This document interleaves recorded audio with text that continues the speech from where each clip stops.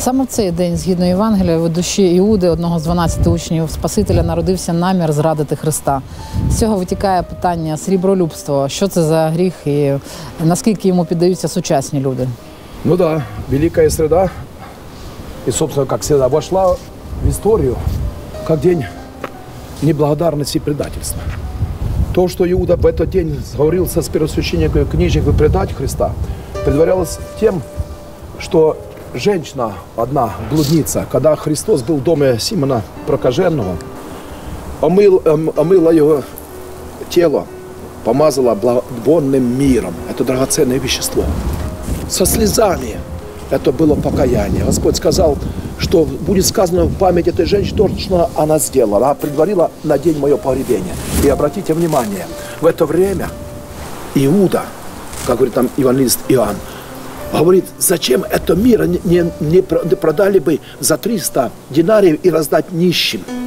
Это говорил не потому, что заботился о нищих, а потому, что был вор. Он носил в себе ящик, который пускали сбережения. Он был как бы казначеем небольшой апостольской общины.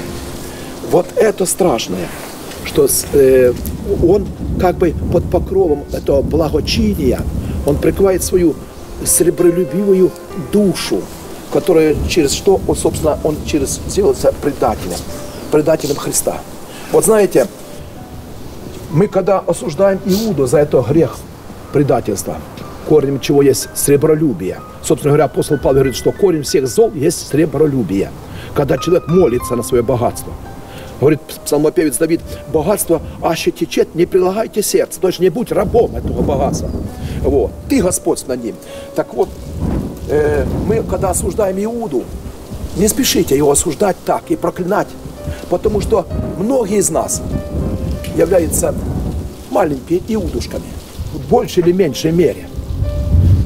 Иуда прикрывал свою сребролюбивую душу, сребролюбивую, вот этим э, внешним благочестием. Можно было продать и раздать нищим. Посмотрите, как часто бывает. Люди говорят, а что там? Что там вот эти храмы с золотыми куполами? Зачем? Ну лучше пошел на пользу каким-то обездоленным, нищим. Грех сребролюбия. Это то, что погубило Иуду и что губит многих из нас. Еще раз повторяю, когда сребролюбие, богатство делается идолом, на который человек молится. Поэтому, вспоминая сегодняшнюю среду, когда апостол отпадает от Христа, а женщина, блудница, грешница, она э, предваряет его на погребение, драгоценным миром. Мы научимся, братья и сестры, никого не осуждать прежде всего. Мы не знаем душ четырех человеков, которые сейчас. Сейчас Господь говорит, будут первые последними, а последние первыми. Поэтому научимся и будем избегать, как змеи, бежать этого рабства, быть грехом мамоны. Господь говорит, не можете служить Богу и мамоне. Двум господам не служат. Да, и деньги, и все необходимо. И так же, как и работа необходима. Но убивает не работа, а забота. Когда человек только о внешнем, о, о, о, о, мирском печется. Научимся, дорогие братья и сестры, действительно увидеть может быть, и в себе каждом иудушку. А там сколько жадности, зависти. Чтобы не были, как у Салтыкова-Щедрина, мы этими иудушками головлевыми, этими маленькими иудушками, предающими Христа, забывающим о вечном сокровище, то, которое не ветшает, Христос. Там, где, говорит, богатство ваше Христос, там и сердце ваше будет. А наше самое главное, нетленно вечное, это Христос. Грядет Господь на вольную страсть, с великой средой вас. Идем и мы за ним. Аминь.